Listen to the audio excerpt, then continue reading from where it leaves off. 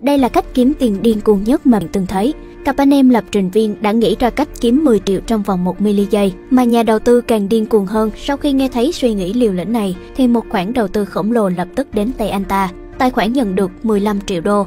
Hóa ra hai anh em muốn xây dựng một đường cáp quang dài hàng ngàn cây số, nối tiếp thẳng đến sở giao dịch kiếm tiền ở bờ biển Đông Tây.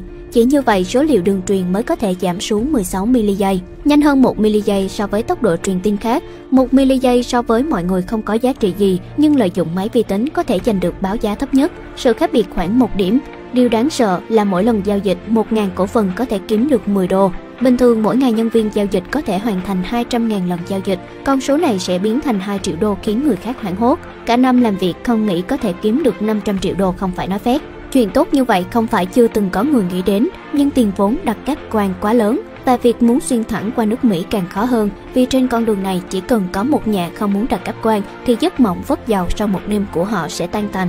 Hai anh em nhà này làm việc ở hai công ty khác nhau, người em lớn gan là Vincent, phụ trách đi thuyết phục khắp nơi xoay vốn, người anh cực kỳ thông minh và to con, anh ấy là Anton, được bà chủ Eva gọi là lập trình viên thiên tài. Biết rằng Eva chắc chắn không để anh rời đi, Anton quyết định đào chức. Anh ta lén đặt đơn từ chức ở quay lễ tân, vừa mới phủi đít rời đi đã bị chặn lại. Bất kỳ số liệu nào trong đầu cậu đều thuộc về tôi. Tôi cho cậu một giây, trở về bên cạnh tôi. Hai anh em cho rằng Eva chỉ đang tỏ vẻ là người phụ nữ quyền lực nên đã mặc kệ cô ta, quay đầu đi tìm giám sát công việc. Mark khuyên nhủ anh ta gia nhập nhóm để làm việc lớn. Khó khăn nhanh chóng đến, các quan phải xuyên qua khu vực có người sống, bắt buộc họ phải mua mặt đất, nhưng họ chỉ cần một khoảnh đất nhỏ như lòng bàn tay mà thôi, rồi đào một cái hố 3 mét. May mắn là phần lớn hộ dân đều không làm khó họ, đồng thời cảm thấy khoản tiền này như chiếc bánh từ trên trời rơi xuống và vô tình nhặt được. Nhắm thấy tiến độ công trình đã quá nửa, nếu không có gì ngoài dự liệu thì chắc chắn sẽ có chuyện ngoài ý muốn xuất hiện. Eva biết được kế hoạch của Anton và Vincent, ngồi trên trực thăng từ nhân đến thẳng công trường,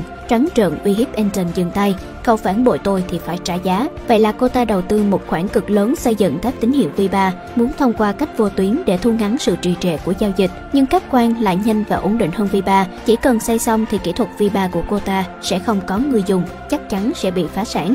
Ngay lúc này một tin tức cực tốt truyền đến. Vincent đột ngột biết tin đang mắc ung thư thời kỳ cuối. Anh sắp chết rồi, tôi còn lại bao nhiêu ngày, cậu còn có thể sống đến năm sau. Biết được tính mạng không còn dài, Vincent hoàn toàn chết lặng, hoàn thành công trình cáp quan có thể kiếm được 500 triệu đô, dừng lại trị bệnh có thể thêm được 5 năm tuổi thọ. Tiền và mạng, đương nhiên mạng quan trọng hơn, nhưng công nhân phải làm việc, chủ đầu tư cần hồi báo. Giấc mộng của Anton đang đợi thành hiện thực. Anh ta chỉ đành lựa chọn giấu đi bình tình, nhìn cơn đau đớn từ dạ dày, hy vọng tiến độ công trình có thể vượt qua bước chân thần chết. Nhưng ngay lúc này lại có hai vấn đề lớn xuất hiện. Đầu tiên là các quan đặt ở công viên rừng quốc gia đụng trúng mạch núi đá Hoa Cương. Máy khoan thăm dò bình thường không có cách nào xuyên qua, thế là buộc phải vận chuyển thiết bị tốt hơn từ Na Uy, phí thuê một ngày mất trắng 6.000 đô. Nhưng Eva tăng gấp đôi tiền công để giành lấy toàn bộ thành viên đội khoan, dùng gấp đôi tiền công để giữ công nhân, cứ vậy đến qua năm.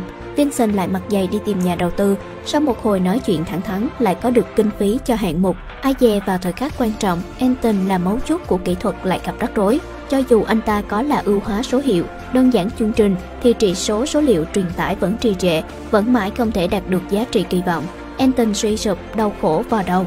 Đột nhiên ánh sáng quét qua anh ta, anh ta thấy người đánh bóng chạy bên ngoài cửa sổ linh cảm đột nhiên xuất hiện. Anton hưng phấn uốn éo nhảy múa, nhưng vài giây sau, điều nhảy đột nhiên bị FBI cắt đứt. Anton quay đầu bảo chạy, FBI đuổi theo không tha. Trò chơi mèo vần chuột giữa nhân viên lập trình và thám tử liên bang không nghi ngờ gì nữa nhìn rất thảm. Rõ ràng tất cả đều do Eva dở trò. Cô ta lấy lý do để lộ bí mật thương nghiệp để đưa ra cáo buộc. Anton còn chưa kịp thay đồ tắm đã bị đưa vào nhà giam, đổi thành đồ tù.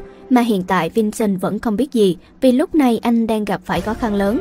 Một ông chủ nông trại kiên quyết phản đối cách quan xuyên qua nhà ông ta. Ông ta cho rằng kỹ thuật khiến thế giới thay đổi quá nhanh, con người theo đuổi tiền bạc mà đánh mất linh hồn là một loại suy đồi.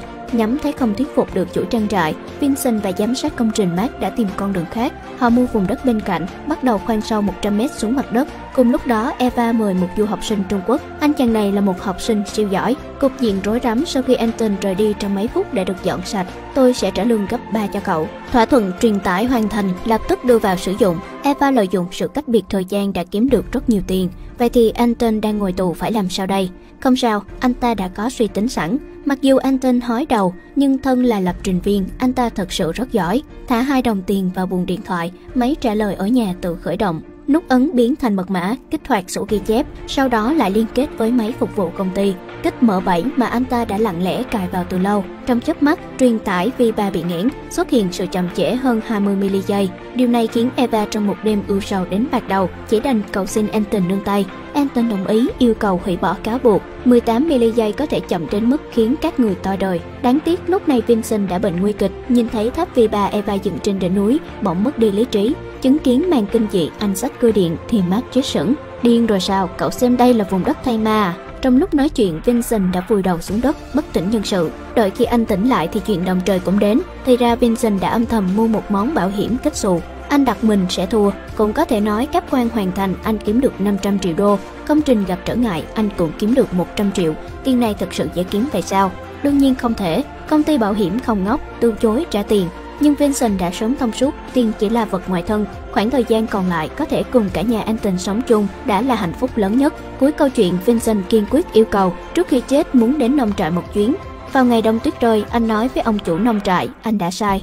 Thời đại kỹ thuật số phát triển quá nhanh, phải nhanh nhưng cũng cần phải chậm. Chỉ có chậm lại mới hiểu mà thưởng thức tuyết trước mắt. Chỉ có chậm lại mới hiểu được thế nào là tình yêu thật sự. Dự án chim đùi hôm nay chỉ đến đây thôi. Bộ phim không có những cảnh kinh dị, nhưng lại khiến lòng người rung động. Cảm ơn mọi người đã xem hết video. Hãy ấn like để lại bình luận và theo dõi tôi Phu nhé.